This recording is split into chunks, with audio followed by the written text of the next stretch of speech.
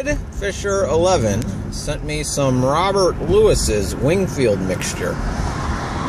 Pretty good.